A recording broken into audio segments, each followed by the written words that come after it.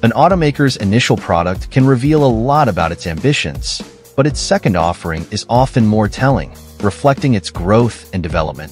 Rivian has now unveiled what it calls the second generation of the R1 lineup. We recently tested the 2025 R1S, and while it may not look much different at first glance, it has undergone significant refinement. Addressing issues, there is good news right away.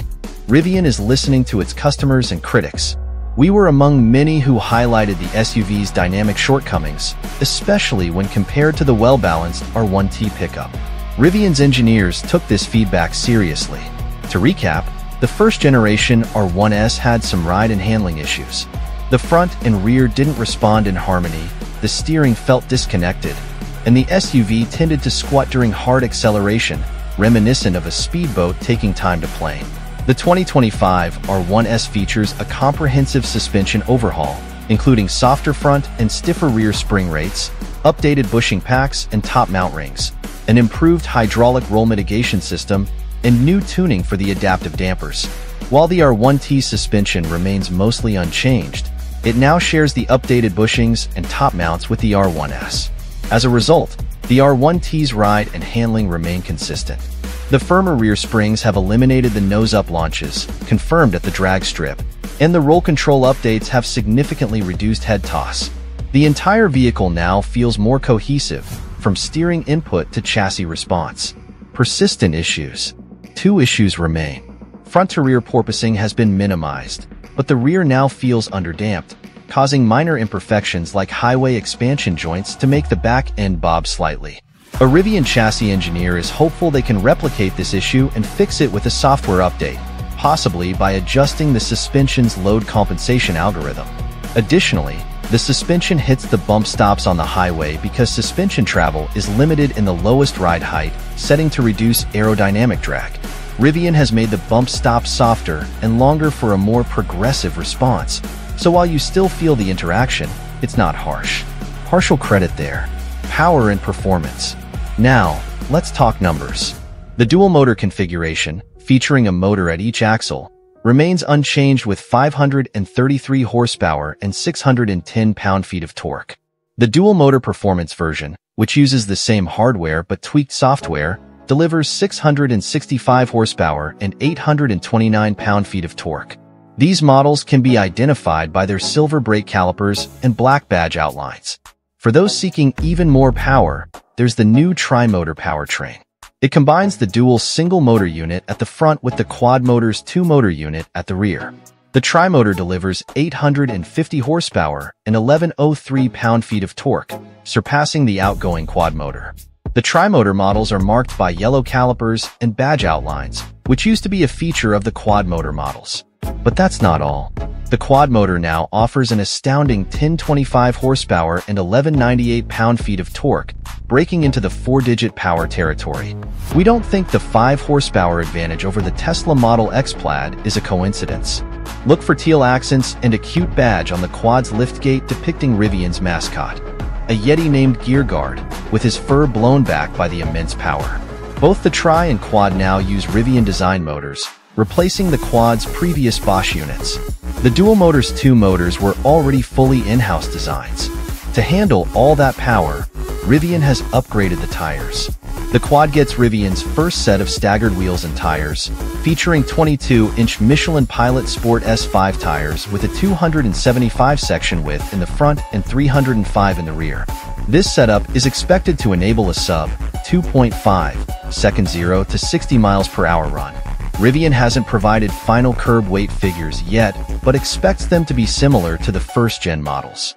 The R1S Tri is projected to hit 60 miles per hour in about 2.9 seconds, improving on the 3.1 second run we achieved with the 2022 R1S Launch Edition.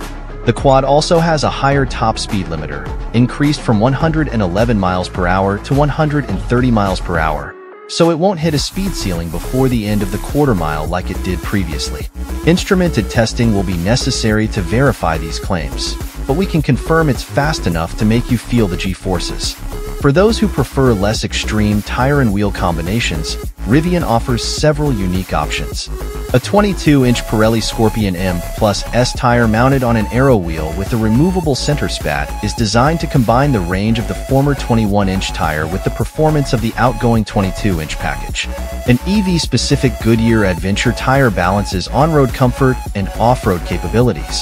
To power those impressive motor setups, Rivian offers three battery pack sizes, Standard, Large, and Max. The base battery now uses lithium iron phosphate chemistry, shared with Rivian's delivery vans. It provides 92.5 kilowatt hours of usable energy with an estimated range of around 270 miles for the dual-motor configuration. The large and max packs have been re-engineered using 2,170 cells and are now housed in a die-cast carrier instead of extruded aluminum, which reduces weight and offers manufacturing and servicing benefits. The large pack, which might be better called medium now, has a usable capacity of 109.4 kilowatt hours, down from the previous large's 128.9 kilowatt hours. The Max Pack sees a slight improvement, offering 141.5 kilowatt hours of usable energy. When paired with the dual-motor sufficient energy usage, this pack should deliver a range of around 410 miles. The Tri-Motor's range won't be much less, as it uses the same front motor as the Dual, and all Rivians can disconnect their rear motors to improve efficiency. Looks the same, except where it doesn't. Rivian has focused on enhancing the unseen aspects of the vehicle, but there are some noticeable updates to the 2025 R1S. Fun fact, we were picked up from the airport in a 2025 R1S and didn't realize it until the driver informed us. Rivian's signature lighting elements have received an update. The light bar spanning the front and rear remains, as do the stadium-shaped headlights, but these have been redesigned to add more visual interest and depth. The light bars now feature 10 RGB segments that can display animations, including one for showing charging progress and others to direct traffic around your stopped vehicle. Additionally, there's talk of an update to Rivian's Halloween mode that might be on the way. The Squoval headlights have been updated with new components, enabling several new features. One available feature is the Adaptive Dynamic Bending Light function. Rivian is also finalizing its Adaptive Drive Beam feature, similar to the Matrix LED systems that several automakers have promised over the years and which are now legal in the US. This system can activate or deactivate individual LEDs to maximize light coverage without blinding oncoming drivers. Depending on when Rivian rolls out this software update, it could be the first company to offer this feature in the US. The turn signals have been relocated from the headlight units to the bumper, where the fog lights used to be. The front fog lights have been removed entirely but Rivian plans to reintegrate them through a headlight software update. The company is also introducing what it calls the Rivian Autonomy Platform to enable new features and increased automation down the line. It uses 11 cameras of higher quality than before, as well as 5 radars to sense its surroundings, and then has its AI, which is built on top of NVIDIA Drive Orin hardware, make ADAS decisions. The existing highway assist function falls into this category,